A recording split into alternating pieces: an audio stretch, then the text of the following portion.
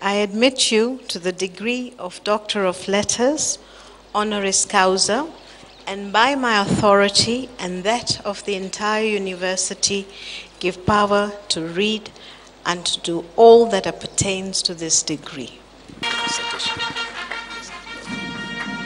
A glorious moment crowning what has been a life full of struggles and tribulations. I never dreamed of such a happy, happy and glorious day as this one. Growing up during the colonial period, the young Macharia lived far from his home in central Kenya's Ndakaini area in Murang'a, herding cows in the Maasai land. When he came back home to Arusha, he found a smoldering heap of rubble where his family house once stood.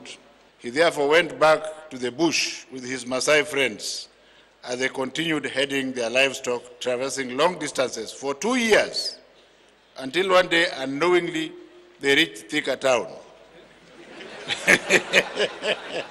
he broke off from his childhood acquaintances, the Hards boys, choosing to stay back in Thika to search for his family. For months, he lived as a chokora. Hey!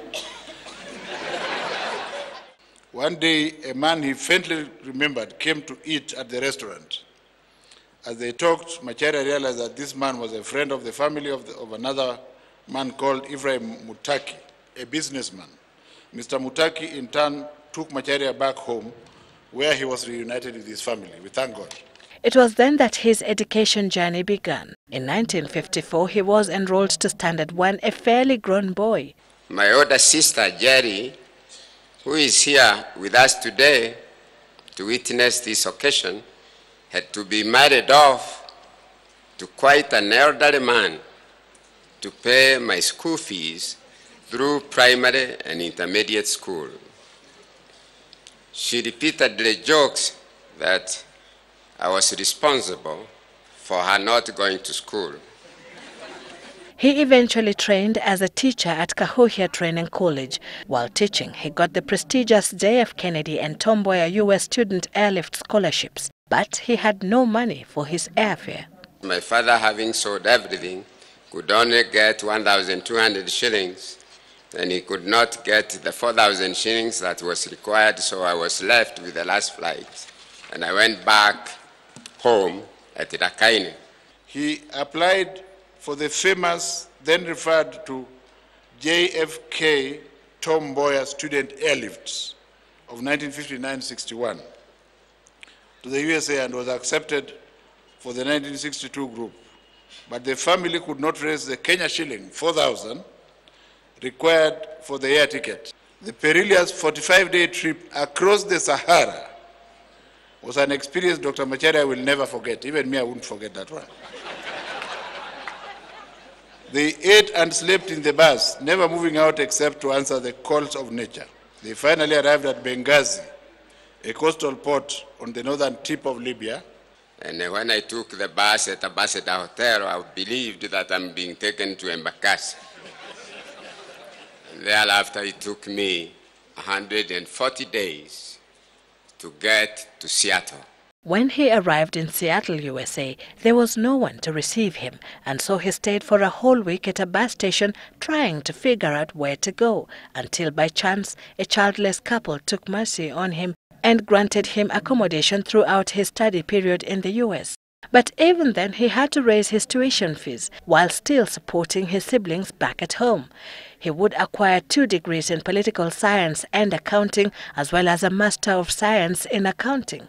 Came back to Kenya in 1969, loaded with all these degrees, and got a job in the Ministry of Local Government as a provincial local government finance officer, supernumerary. I don't know what that means. He later worked with the ICDC, Industrial and Commercial Development Corporation, and the Kenya Industrial Estates. Then he tossed himself into the world of entrepreneurship.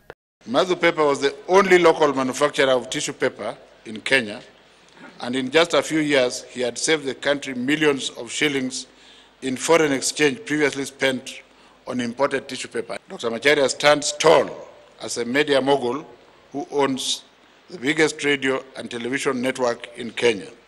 I would say the biggest indigenous radio and television in Kenya. Citizen Radio Network has a combined listener audience estimated at 80% of all Kenyan Citizen Television commands 55% of the market share in Kenya. You graduates can learn something just a little from me and try to copy a little of it. The story of Dr. S.K. Macharia's rise from grass to grace told to the 7,789 graduates, three quarters of whom will be seeking jobs in the already crowded job market. I have learned the need for courage, patience, and perseverance in one's life. Dr. Vijoo Rattansi was also honored with an honorary degree for her philanthropic work helping needy students, including dozens who are graduating today, through her foundation to pay their school fees. Sylvia Chebet, Citizen Weekend.